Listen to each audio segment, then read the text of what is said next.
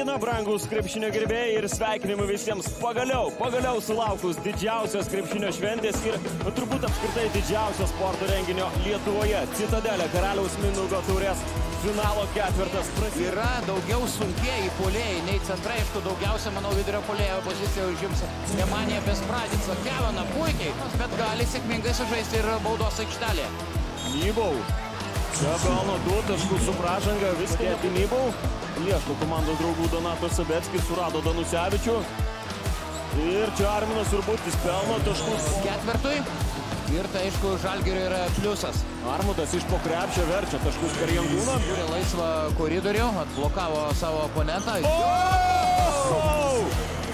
Jonathan.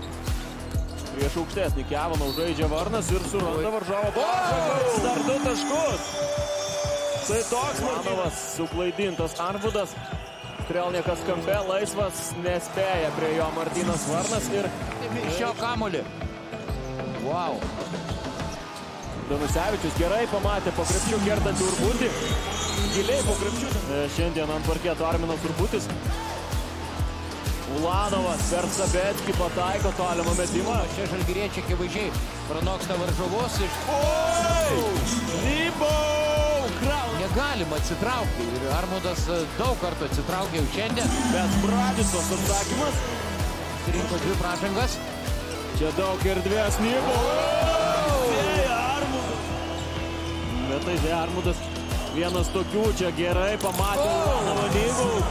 Grūda.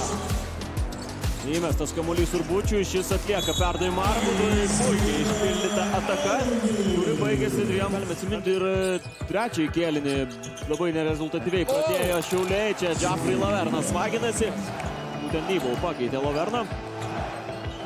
Websteris ilgai išsilaikė ore, surado kampe Lekavičių ir čia pagirdinas.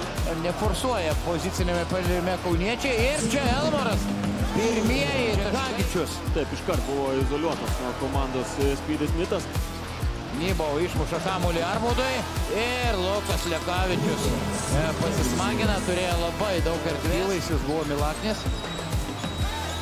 Elmoras ištampė varžovų gynybą ir čia Danielius Paslykas pataiko labai svarbu. Latvis įmeta kamuolį po krepšių Nybau ir šis pelno taškus prieš Donatą. Gynėsi prieš e, Sabeckį.